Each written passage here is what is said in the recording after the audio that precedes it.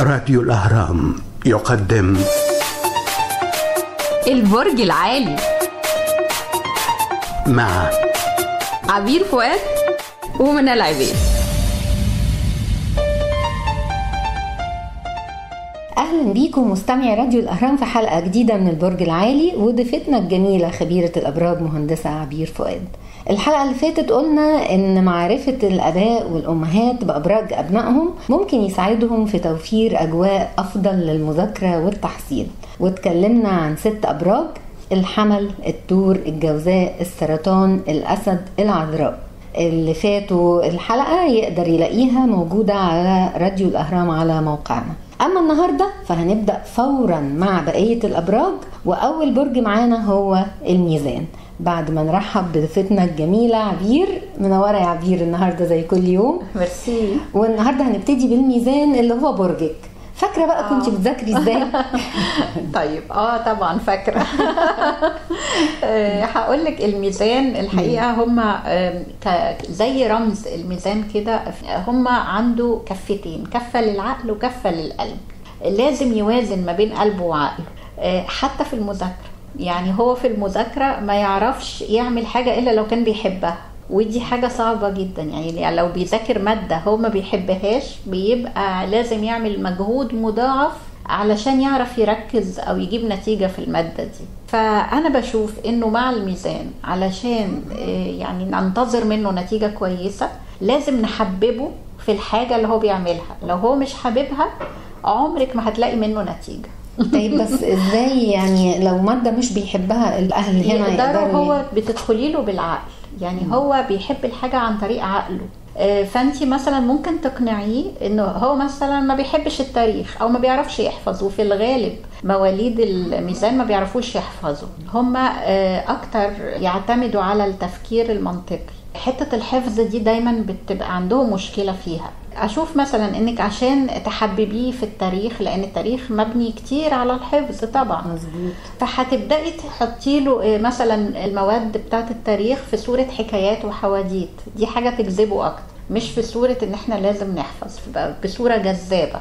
إن هو يبقى عنده مثيرة للفضول يعني. يبقى هو هو اللي عاوز يعرف وعايز يسمع وعايز يعرف إيه اللي حصل في الوقت ده. فهو بس حتة إن انت تحببيه في الحاجة دي هي اللي هتخليه ينجح. يعني من أهم مفاتيح التحصيل العالي لبرج الميزان. نحاول نحببه في المواد اللي بيذاكرها أو الحاجة اللي بيعملها. إيه كمان يساعد برج الميزان على التحصيل؟ شوفي هو كطبيعة الميزان عنده طبيعتين ضد بعض عكس بعض. أول حاجة طبيعة البرج إنه طبيعة ذكورية. الأبراج الهوائية كلها عندها طبيعة ذكورية. يعني إيه طبيعة ذكورية؟ يعني بيبقى بيفكر دايما بعقله أكتر. تلاقيه صريح إيجابي فعال. مبتكر يعبر عن مشاعره بسهولة. دي الصفات الذكورية؟ دي الصفات الذكورية. والصفات الصفات الأنثوية لا اللي هو تلاقيه كسف ما يعبرش قوي عن مشاعره تبقى دايما الحاجة مكتومة جواه المشاعر والانفعالات مكتومة أكتر جواه. دي الطبيعة الأنثوية. لكن الميزان طبيعته ذكوريه لكن عنده جزء تاني فيه حتة أنوثة. وده يعني ده هينطبق على البنات والولاد يعني. الكوكب المسيطر على برج الميزان هو كوكب فينوس وفينوس دي إلهة إلهة الجمال والحب فهي أنثوية يعني. فهو ده بيديله الحاجتين حتة في حتة ذكورة وحتة أنوثة اللي هو زي ما قلنا إيجابي وفعال ومبتكر وصريح. في نفس الوقت حتة كوكب فينوس بيخليه فنان بيخليه مسالم مش محب للحرب. يحب يميل جدا جدا للحاجات اللي فيها فن. يعني يحب الأدب يحب الشعر. فممكن تستهويه قوي المواد يعني الأدبية بقى اللي فيها. الفنيه الفنية. بس إزاي ده ممكن يساعد الأهل إن هم يعني إيه اللي ممكن يستفيدوه لما يعرفوا حاجة زي دي عن برج؟ الميزان في المذاكرة والتحصيل. آه يعني مثلا حي هم عارفين إن هو بيحب الشعر مثلا أو بيستمتع بالحاجة اللي فيها أدبية أو فنية. آه فهيبدأوا يقولوا له آه، ده دي قصيدة. يبدأوا يد- يدخلوا له مثلا مش هيقولوا له لازم تحفظ القصيدة دي علشان هتمتحن فيها. لا يعني يفضلوا يحكوا له عن الشاعر وكتبها عشان إيه وكده. طيب هو ده هيرجعنا يحب- تاني لنقطة إنه لازم لازم يحب يحب. النقطة. فهي آه، صفاته الذكورية دي إحنا ممكن نستفيد بيها في إن إحنا نخليه يحب ال- بالظبط. ساعتها هيبقى. إيجابي جدا وفعال جدا في إنه يوصل للحاجة. حاجة تانية إن هو الطبيعة الذكورية بتخليه مفكر فده يخليه برضو ناجح في المواد العلمية جدا. وده اللي ده اللي عايزة أقوله إن هو عنده الحتتين. حتة الفن والإحساس آه، بالأدب ويعني ممكن يبقى ناجح في اللغات وفي الأداب آه، لكن كمان هو ناجح في النواحي العلمية جدا لأن هو برج هوائي مفكر. فهو تلاقيه تلاقي دايما مواليد الميزان يبقوا شاطرين في الرياضيات يبقوا شاطرين أنا كنت هقول كده يا عبير كنت هقول يبقى اللي عنده ابن أو ابنة ميزان آه، يطمئن هو كده عنده هدية يعني هو تقريبا مش هيتعبه في المذاكرة يعني مش لو بيح... لو بي... بس يعني. يحببوه يعني خدي بالك لو بيكره المدرس أو بيكره ال... الأسلوب آه. التعامل لأنه حساس فلو ممكن مدرس يكرهه في المادة. يعني في عوامل تانية يعني لكن هو عموما لو ناشئ في نشأة حلوة آه، فيها ناس بتحببه في الحاجة لا هيبقى ناجح جدا جميل جدا يبقى مفتاح نجاح آه، طلبة وطالبات الميزان آه، إن هم يحبوا الحاجة آه طيب. هضيف حاجة كمان للميزان إن هم. بيحبوا يعملوا الحاجة على أكمل وجه يعني ما يع- ما يعرفوش. يكروتوا يعني لازم يعملوا الحاجة مظبوطة قوي. آه وفي نفس الوقت آه يحبوا يذاكروا على على مع المزيكا. يعني ممكن يشغل موسيقى هادية جنبه دي تساعده أكتر إن هو آه يبقى بيذاكر وهو مبسوط. ويستمتع ويحب الحاجة اللي ويحب. الجامعة. بعد كده هنروح للعقرب. مظبوط؟ آه. تمام. إيه بقى العقرب؟ آه، أعتقد صعبين شوية دول يا بير آه طبعا. صح؟ آه طبعا. طيب. إيه بقى اللي عنده ابن عقرب بيذاكر نعمل له إيه؟ العقرب مشاكس بطبعه آه، بيحب ي- مش من النوع اللي يقدر يقعد والمذاكرة عايزة قاعدة شوية. فهو بيبقى دايما عايز يتحرك وعايز يطلع بره يكتشف الدنيا ويدخل في مغامرات وخصوصا لو ولد يعني. هيحب إن هو يعني يبقى عنده ولاد أصحابه ويروح وي- ويتخانق وكده يعني يحب الخناقات. آه، البنت برضو شخصية قوية جدا آه، عندها روح قيادة. آه، بس أشوف إن البنت ممكن تبقى عندها إحساس بالمسؤولية أكتر في المذاكرة. فأنا أشوف إنه آه، لو اديتيها ال- البنت العقرب اديها بس إحساس بإن هي مسؤولة عن مذاكرتها أو دي مسؤوليتها هتلاقيها تتحمل المسؤولية على أكمل وجه. والولد كمان بس يمكن بنسبة أقل. بالنسبة أقل لأنه لعبي شوية يعني أو محب للحياة بره أكتر. آه، آه، بس في حاجة بقى المدخل بتاع الولد العقرب علشان يقعد يذاكر عنده فضول. فأنت تحاولي تحسسيه إن أنت آه، آه، يعني ارميله بذرة حاجة عايز يعرفها. نثير فضوله عن الموضوع اللي إحنا محتاجين آه، نخليه يذاكره. بالظبط. آه فتقولي له ده أنت ممكن تعرف من خلال المادة دي هت- هتعرف معلومات كتير عن كذا أو كده. فده يثير فضوله إنه يقرأ ويتعلم.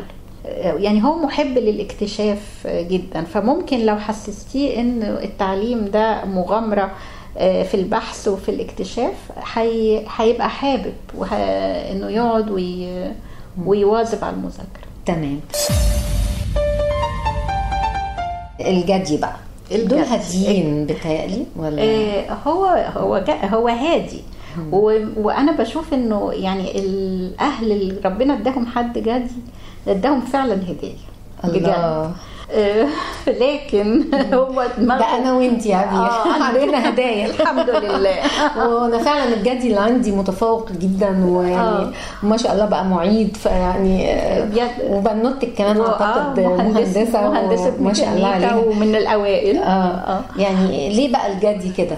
آه، ليه الجدي كده؟ هم من طبيعتهم متحمل للمسؤولية مجتهد. وبعدين هو دايما عايز يشوف نفسه في مكانة عالية. هو الجدي اسمه جدي الجبل. فهو الجدي إحنا بنتكلم مش عن الجدي اللي إحنا بنذبحه في العيد. إحنا بنتكلم عن جدي الجبل اللي قاعد فوق القمة. فهم عايزين القمة. فدايما تلاقيهم مجتهدين عارفين إنه عشان من صغرهم إنه هو عشان يوصل للقمة لازم يتعب لازم يشتغل. فبالفطره مجتهد. عندهم قوة ملاحظة جدا فيقعد يلاحظ الناس بتعمل إيه عشان تتقدم آه، يتعلم جدا من خبرات الآخرين آه، ويعمل في صمت ما تحسيش بيه آه، بس تفاجئي إنه حقق آه، نتيجة نتيجة حلوة. هايلة. آه، عندهم نضج مبكر. يعني تحسيه من وهو صغير هو راجل. آه، والبنت نفس الحاجة من وهي صغيرة. مهندسة. يعني يعتمد عليهم. عارفة؟ يعني الجدي ما يتقلهوش ذاكر يعني. آه آه آه. هو لا، عارف هو هيعمل إيه إمتى إزاي. آه لأنه عنده إصرار إنه يثبت نفسه. يعني حتى السد... يعني لو شوفي إثبات الذات ده يعني مثلا لو حبينا ندي آه، مثال على الشخص عنده من الجدي عنده إصرار على إثبات الذات عندنا الرئيس الراحل آه، أنور السادات آه، عنده كتاب كان عامله اسمه آه، البحث عن الذات. آه، آه. آه. ف... وهو فعلا يعني كان دايما هو فعلا السادات نموذج للاصرار ده للإصرار. تاريخه كله. وللصعود إلى القمه آه طبعا. طبعا يعني- وأي قمة يعني. آه. وصلنا لبرج الدلو. أنا ما أعرفش كتير عن برج الدلو بقى يا عبير. يعني آه لا أخبارهم أنا إيه بقى أنا عندي؟ دلو بقى. أنا أنا ابني برج الدلو. من أرض الواقع بقى. آه. ابنك كان بيذاكر إزاي؟ شوفي أنا بقى حتة الأبراج دي فادتني جدا جدا في تربية ال- بالذات برج الدلو. لأن أنا عارفة الدلو آه، يعني عارفة كمان بابايا برج الدلو. فالدلو جاي الدنيا يحارب آه، عشان حريته. ما عندوش استعداد إن حد يفرض عليه قوانين. ودي مشكلة في المذاكرة إن انت تيجي تقولي للشخص الدلو ده أنت في كراسة كده لازم تكتب فيها هنا بالأزرق وهنا لو السؤال بالأحمر أو ممنوع تكتب بالأحمر آه، هتبقى عنده مشكلة. لأن هو ده إن هو يقول حاضر دي مش حاجة سهلة. والمذاكرة كلها قوانين. آه لأن هو حريته فوق. دي أغلى حاجة عنده. الحرية دي أغلى حاجة عنده. ما عندوش استعداد يعني يتخلى عن حريته. طب إيه الحل معاهم آه، عبير آه، ويتمرد على التقاليد يتمرد على السلطة. آه، فالحل معاهم إن أنت تكلميه بالمنطق. نقط يعني ده مدخله المنطق. إن أنت آه، أول حاجة تديله الحرية. تحسسيه إنه هو في إيده يختار يكون ناجح أو ما يكونش ناجح. في إيدك تختار آه، تذاكر أو ما تذاكرش. آه، في في ممكن أديله حرية في اختيار آه، مثلا مواعيد المذاكرة؟ يعني لمجرد إن أنا احسسه إن أنت حر. وت- وتحسسيه إن أنت إن أنا بثق فيك وبثق في, في عقلك وبثق في إن أنت هتعرف تتصرف وتحط لنفسك الجدول اللي يريحك. آه، وعارفة إن أنت هتختار تكون ناجح بس أنت حر. بل لازم تقولي له أنت حر. جميل. يعني لكن ينفع معاهم يا بير فكرة إن أنا أخيره. يعني أقول له مثلا تحب تذاكر دلوقتي ولا تذاكر بالليل؟ أو هقول له تحب تذاكر مثلا ماث ولا تفضل تبدأ بالعربي؟ هل ده بيحسسه بحريته؟ آه طبعا. يعني ممكن نعمل معاه الحيلة دي؟ آه طبعا. آه جميل. آه يعني أنت دلوقتي من آه هو عنده مواد كتير لازم تتذاكر. مش مشكلة يبدأ بأنهي مادة انت تديله اللي تبدأيه معاه انت هتحب تذاكر إيه؟ ما تقوليلوش ذاكر. انت آه. هتقولي له انت هتحب تبدأ بأنهي مادة؟ جميل. قدامك كذا وكذا وكذا. انت اختار اللي يعجبك. طيب في حاجة تانية تحب تقوليها له نظمها بالطريقة اللي تعجبك. عايزة أقول أقول إن هم موهوبين جدا في مجال الرياضيات. هم لأن هم منطقيين فهم ينجحوا قوي في الحاجات اللي فيها استخدام للمنطق آه، وهم برج هوائي مفكر. لكن كمان ينجحوا قوي في في كتابة الشعر. هم عندهم قدرة إن هم أو حساسين رغم إنه عقلاني قوي لكن يعرف يكتب شعر حلو جدا. يعرف كمان آه، يبقى مبتكر عموما يعني ممكن يبقى مخترع. يعني توماس إديسون على فكرة كان وهو في الدراسة كان فاشل. تو- توماس إديسون. آه بيتضرب بيه المثل في آه واتطرد من المدرسة وبقى بيبيع جرايد في الشارع فكان صعلوك. يعني ومع ذلك آه، بقى مخترع الكهرباء. واخترع اللمبة وهو اللي اخترع. هو السبب في إننا عايشين دلوقتي في الكهرباء. يعني عندنا نور آه، بالليل من الدنيا منورة بسبب توماس إديسون. يبقى برج الدلو لما نديهم الحرية والاختيارات هم هيبدعوا ويبتكروا ويصلوا لأفضل المراكز بإذن الله. وبكده نختم ببرج الحوت ودول بقى إيه مريحين ولا متعبين ونعمل معاهم إيه؟ آه الحوت حساس حساسين قوي ويميلوا للغموض وللصمت فأنت ما بتبقيش عارفة هو هو بيفكر في إيه أو هو ناوي يعمل إيه. ويميلوا للشكوى وللأنين. يعني ممكن يبقى بيذاكر وبعدين يجي يفكر يقعد يعيط أو بيبقى محتاج حنان. يعني أنا بشوف إن الحوت لازم الأهل يتفهموا قوي احتياجهم للحب وللحنان. آه، دي ال- ال- الطاقة اللي بتديها له بتشحنيه علشان يذاكر. آه. فهو دايما محتاج اللي يطبطب عليه واللي يساعده واللي يديله power يعني. تحاولي من وقت لآخر لازم تديله power ال power دي إيه؟ هي الحنية. أول مرة أعرف إن الحوت محتاج للحنان بالشكل ده. آه، بس وده كمان اللي يساعده إن هو يحصل بقى أو آه، ينتج. ويحتاج للاحترام يعني إن انت لازم لأنه حساس. فانت ما ينفعش تتعاملي معاه بعنف لأن ده يخل ما يجيبش نتيجة معاه خالص.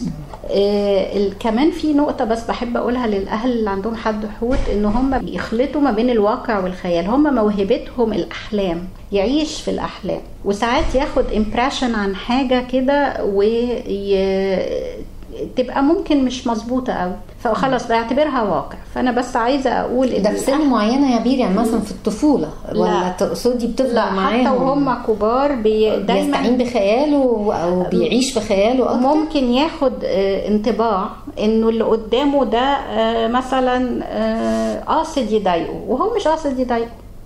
هو برضو دي حتة حساسية يعني. فيبدأ خلاص يتعامل على هذا الأساس. لكن الواقع ممكن ما يكونش كده. فهو كتير خياله يصور له ممكن حاجات مش شرط تكون صح فالأهل لازم ياخدوا بالهم إنهم يقولوا له افصل ما بين الخيال والواقع. أو يوضحوا له الحقائق بصورة مستمرة. آه رغم إن الخيال ده موهبته فهو شاطر جدا جدا بسبب خياله. يعني أنا آه، مثلا ندي أمثلة زي أينشتاين أو أحمد زويل. دول برج دول. علماء. آه. آه. إيه سبب نجاحهم؟ هو الخيال. أينشتاين كان بيتخيل عشان يحط قوانين الضوء يتخيل الفوتونات دي ممكن تمشي إزاي ويبدأ يحط لها قوانين الحركة. فهو اعتمد على خياله على موهبته في الخيال. آه نفس الحكاية آه أحمد زويل اللي هو قدر يخلي الشيء اللي مش مرئي. الفيمتوس إنه يقدر يشوف الحاجة اللي إحنا مش قادرين نشوفها. ويسجل حركتها. يعني فاللي هو بيحول الشيء الغير مرئي لشيء مرئي. يبقى إحنا علشان نساعد برج الحوت آه، على التحصيل آه، محتاجين آه، إن إحنا ننمي خياله ونساعده إن هو يستعين بالخيال ده ما نقفش في طريقه وفي نفس الوقت نحاول دايما نوضح له الحقائق ونبصره. بالواقع. آه. بكده آه، مستمعي راديو الأهرام نكون وصلنا لآخر الأبراج. بشكر عبير فؤاد ومستنيينها ومستنياكم في حلقة جديدة. انتظرونا. البرج العالي. مع عبير فؤاد ومنى العبيد.